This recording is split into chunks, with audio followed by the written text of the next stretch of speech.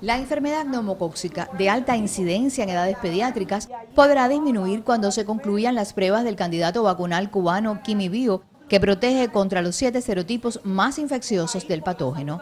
Así lo anunció la doctora en ciencias Dagmar García Rivera, investigadora titular del Instituto Finlay de Vacunas, durante su conferencia en la convención por el aniversario 58 del Hospital Pediátrico Cienfueguero.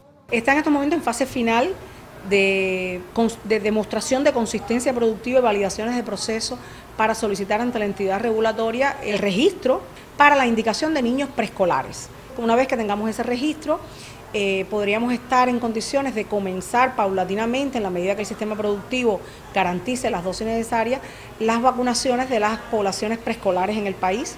Un ensayo clínico con esa institución asistencial iniciado en 2012 en edades preescolares, seguido de uno en lactantes, y el estudio de intervención de entre 1 y 5 años en 2018 precedieron a estos resultados. Se demostró la no inferioridad de la vacuna cubana respecto a la vacuna Prevnar, que es el, el gol estándar de las vacunas antineumocóxicas en el mundo.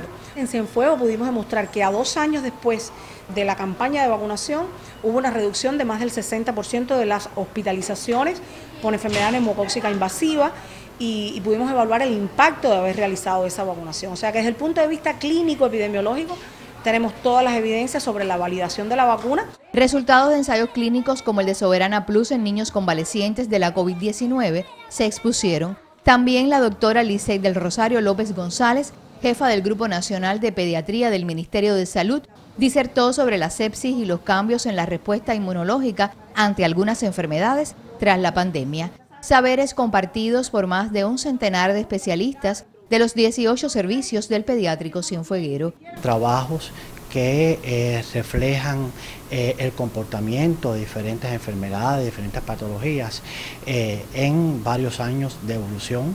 También nos ha favorecido los lazos con la atención primaria de salud. Y tenemos también proyectos a nivel nacional en colaboración con otros hospitales, inclusive con la Academia de Ciencias de Cuba, que recientemente firmamos un convenio de colaboración. Unidad de Desarrollo e Innovación Tecnológica que muestra los frutos de sus nexos con centros de investigación nacionales como el Instituto Finlay y en la vacuna contra el neumococo, que tras 10 años de estudio entra en la fase de validación de procesos y consistencia productiva para su registro e incorporarla al programa de inmunización para niños mayores de un año. Inmari Barcia, Notisur.